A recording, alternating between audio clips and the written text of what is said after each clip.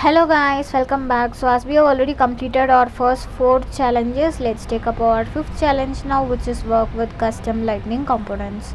So once if you launch your playground so in app launcher i'm just going to search for install a package. So once if you get the result click on install a package.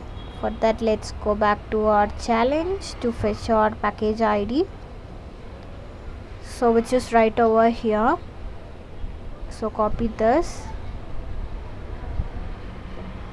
and paste it over here. So once if it is done click on install. Click on install again. So we are going to install it for admins only. So once installation is done click on done. And here in quick find i'm just going to search for lightning app builder.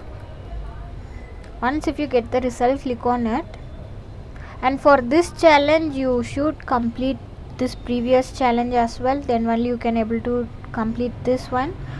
Now click on my data which we have already created in our previous challenge. Now click on edit.